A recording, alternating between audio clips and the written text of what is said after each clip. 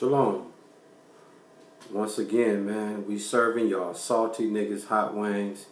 And before we get into this lesson, we give all praises to Yahweh Shem Yahweh Shai for allowing this word to come out, man. And the name of this lesson is called Police Still Harassing Jake. We're going to come out with one scripture that's in the book of Job, uh, chapter 21, verse 27. And it says, Behold, I know your thoughts and the devices which ye wrongfully imagine against me. Okay? Again, man, the police still harassing Jake. Okay? Look all over the news, man. Look what just happened in Baltimore last week. Um, I mean, it just don't stop, man. Okay? It's a target. we the number one target, man. Jake is the number one target, man, for these crooked ass polices, man. All right? Again, in Job 21, verse 27, it says, Behold, I know your thoughts. Okay?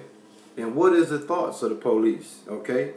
The thoughts of the police is all Jakes is uneducated, stupid, simple ass niggas. That's what they think, man. Okay? The scripture says, Behold, I know your thoughts and the devices. Okay? The device, what's the devices that they're using? Or what's the schemes that they're using?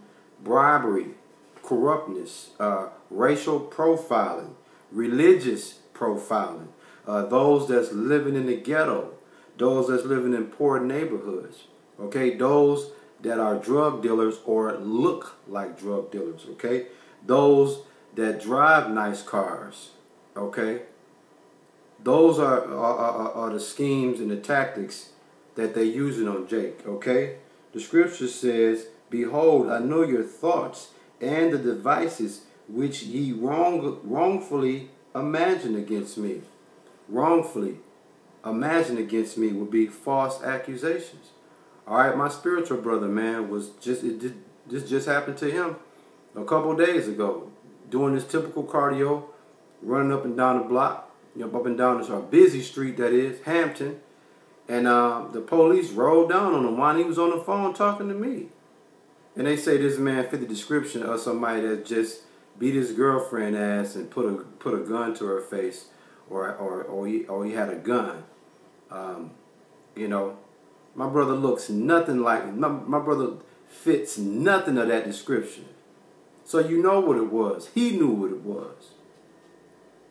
So again, man, the name of the lesson is called Police Still Harassing Jake. Alright? And if you a so-called Negro in this place called America, and you fit the description of someone of a drug dealer or someone that have a, a, a, nice car, somebody that's physically in shape, okay, somebody that um, that just looks like a simple, uneducated nigga. The police coming to sweat you, man. They gonna sweat you. And they got tactics to get away with this shit, man.